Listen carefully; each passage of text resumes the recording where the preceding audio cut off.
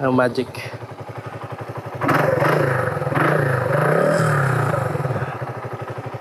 Pag nakabukas ang makina niya tapos ay walang display.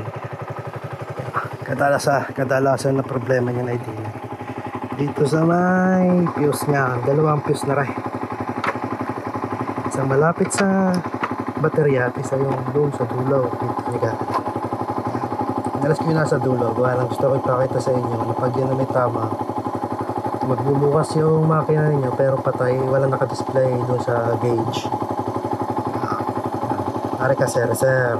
Ang ginagamit talaga yun, doon sa kabila. Malapit dito sa Tagiliran. Kabit natin.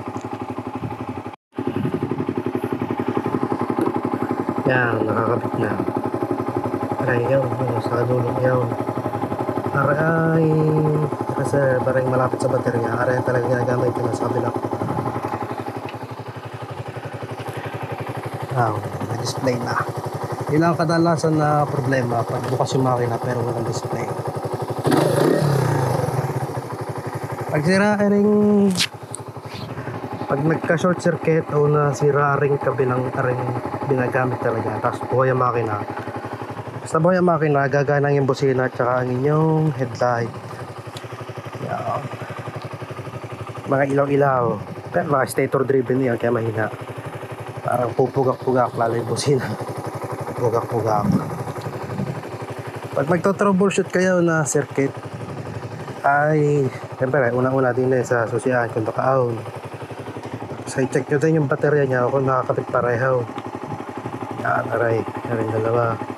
Tapos ay aray check nyo kung buo pa yung inyong fuse din eh bago kayo pumunta doon sa mga limbawa ilaw yung sira tsaka nyo doon i-check.